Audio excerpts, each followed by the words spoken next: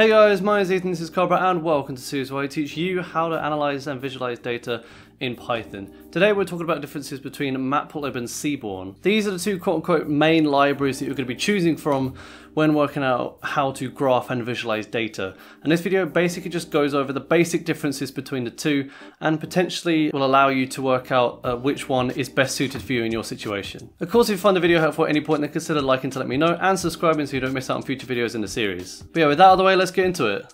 And we're back with our AD, and as you can see, I'm recording an actual reasonable time this time.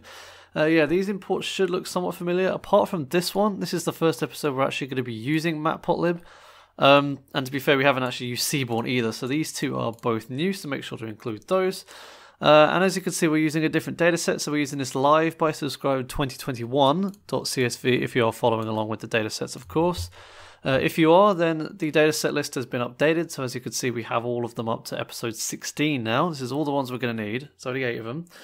Um, but this is the only time we're going to be using this specific one. So if you run that, you'll see that I still haven't updated my Python version. And you'll see that we have this particular um, graph here. We have these days, and then on each day we have unsubscribed and a subscribed and that's going to come in uh, useful. It just makes it a little bit easier to show what I want to show. And what I want to show is the differences between Matplotlib and Seaborn. So Matplotlib is Python's graphing library in a sense. So it's at the very least it's its main graphing library. I'm sure there are others out there, but Matplotlib is the one that really most people use, and it is very powerful. You can do a lot with it, but it is also very very complicated and very very tricky to use. There's a lot of weird stuff with it that doesn't make a huge amount of sense. this is where Seaborn comes in. Seaborn aims to be a wrapper that sits on top of Matplotlib, so you're still using Matplotlib, but it just makes everything a lot easier and a lot quicker. Now, if you want complete control, I would probably recommend sticking with Matplotlib, even though I think you can change Matplotlib settings with Seaborn, but I don't know.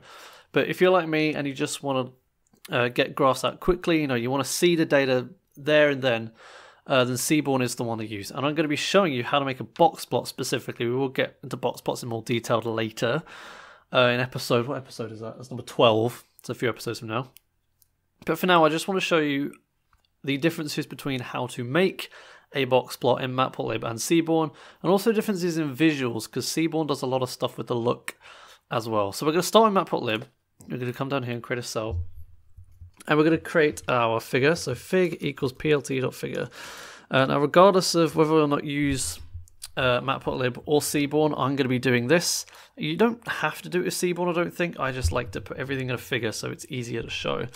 Uh, so we can actually do figure.show down here, and then, and then everything we do in between that will be adding to the figure, and then we can show it at the end, and it will show it in the actual thing because we have Matplotlib inline up the top. So to create a box plot, uh, I'm just going to separate out a little bit. What we do is a plt.boxplot, and then we open brackets, and I'm going to bring down uh, onto a new line and create a list here. So inside this list is all of the different uh, boxes we want to draw. So in this case, we want to draw two, and it is uh, df views, uh, and then open square brackets again, uh, df subscribed status uh, double equals. Oops, the double equals is there. Uh, subscribed. And then the same thing again. I don't have a left control key at the moment, so I'm probably going to be a bit slower than normal. uh, and then that's a closed bracket there. Do that. and then unsubscribe. So what we want to do is we basically want to show a box plot for subscribed figures and a box plot for unsubscribed figures. And this is just going to show the views for each uh, in the live streams that I did in January. I can't remember if February is included in that. It may well have been. I don't know. Actually, March may have been as well. I actually don't remember what's included. We can have a look actually, just real quick. Just see, yeah, it's March as well. So you can see if I open it like this, we have a certain number of views for unsubscribed and subscribed people. I basically want to show uh, the difference between the two uh, as a box plot. We want to see how different they are. This is a good way to do that. So anyway, back to our box plot, we have the two graphs in there now, and that's all we need out of that. Uh, so now we need to set the x label. So it'd be plt.x label subscribe status if I could spell. which I never can, so I don't know why I keep mentioning it. then we want to set our Y label, so the one on the Y axis is going to be the number of views. Then we want to set the ticks. So this is, I believe, the ticks. Yeah, this is uh, the ticks going on the X axis. So we want to set kind of what it will read for each thing. Uh, it'll make more sense when you actually see it. So we want to set that to a set of df dots uh, status. So we want the you know subscribed and unsubscribed. We can have it as a list in there if you want, but I'm just using a set because it makes it just a little bit more dynamic. Uh, and then we actually need to apply that. So plt.xticks uh, ticks equals uh, range one uh, len ticks plus one. So these are the ticks that we actually want to override. And then we want to set the labels of those ticks to ticks. Uh, and that's it actually. So now if we do control enter and show it, we can see that this is our um, this is our graph here. Right? Is this actually backwards? Because I genuinely don't know if this is backwards or not. Because uh, you don't really get a choice. Subscribed is the highest one. It is backwards. Okay, so in this case, we would need to do this because last time I did this, it wasn't backwards. I guess because we're using a set. Um, so we actually want this to be subscribed and then uh, unsubscribed. There we go. You can set it as a tuple as well. I'm pretty sure anyway. Uh, yeah, you can. Okay, so that's the way around now. So if, I suppose order does matter. So you probably will actually want to use a tuple. But as you can see, we have our graph here. If I make it a little bit bigger, we have a graph here of, you know, my subscribed uh, views on live streams and unsubscribed views on live streams. So generally speaking, in live streams through January through March, uh, I got way more views from subscribers than I did from people that weren't subscribed, which I suppose makes um, it makes sense for streams. For videos, it makes sense to be the other way around, but for streams, it makes sense to be this way around. Um, so as you can see, there's quite a lot going on here. So we create the figure, we uh, we actually tell Matplotlib what uh, boxes we want to draw.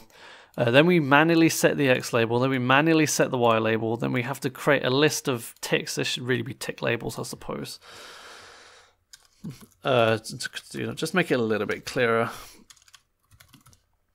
Uh, and then you actually have to apply these ticks. So you have the ticks, and then you have to set.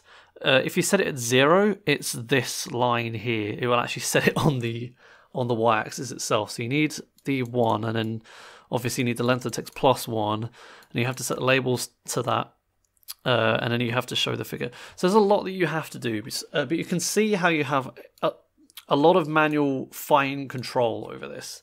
But a lot of the time, you just want to get a graph out quickly, and you don't really mind too much about all the fine details. You kind of want something that can set these axes for you. Um, and all that. So this is where, as I said before, Seaborn comes in. So if we do it in Seaborn, it's a fig equals plt.figure sns.box, not boxen plot, that's the wrong one. Box plot, I'll get to boxen plots later, but right now we're just we're just doing a standard box plot. So data equals df, so we pass our data frame in.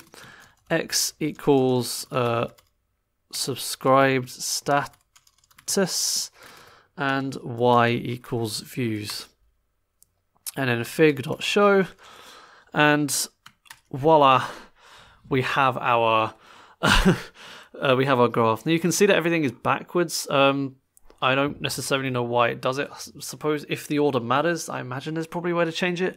But in this particular example, the order doesn't matter at all. But as you can see, there are a number of differences to talk about. So the first is the width of the graph.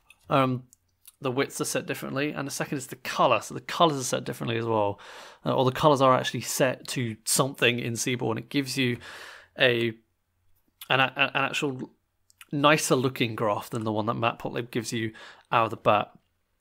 It also gives you the X ticks automatically, and it also gives you the labels automatically as well. So you can see all this stuff is exactly the same as it is in the um, in in the Matplotlib one as well. The only difference is the way that this actually performs these operations. So essentially, uh, we're passing in the data frame. So we're saying this is the data we want to use. The x-axis is the subscribe status. So because there are two um, different values that are possible in this column. It gives us two box plots. So there's unsubscribed and subscribed. Look, as you can see, that these are the only two values you can get. If there were more values, then you'd actually have them all. Um, and pretend, uh, if you're doing uh, device type, for example, there are a lot more device types. And you could just pass in x equals device type here and it will automatically create a new one for you. With this, I mean, we only had to do two.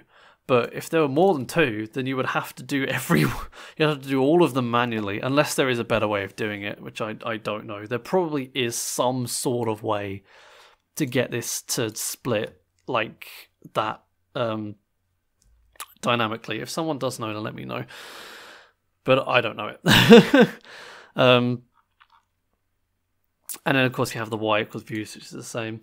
So as you can see, these are the differences. We're going to be using Seaborn throughout the rest of the series because it is just a lot quicker and a lot easier uh, to use than just straight up matplotlib. Of course, straight up matplotlib does have its uses um, as well, but not really in this series. We just want you know the graphs to look nice. and we want the graphs to just make themselves. It's all automatic with Seaborn. It's all done for you and that's what I like about it so much. Uh, but yeah, that's all I really wanted to talk about with comparing these two uh, different libraries. If you have any questions, then feel free to leave them in the comments below, or you can join the Discord user link in the description. But yeah, with that, I would like to thank my patrons for being as amazing as they are, and I'll see you next time where we actually start doing some actual graphs and I explain kind of what they do. So we're going to be doing line graphs, scatter graphs, rug graphs, and ECDF graphs in the next video. So I'll see you for that.